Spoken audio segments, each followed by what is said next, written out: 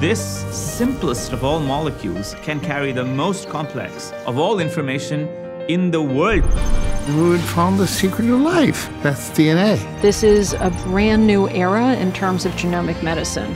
Our hope was that maybe he would come to daddy. Walk. We suddenly had the power that previously had belonged to evolution itself.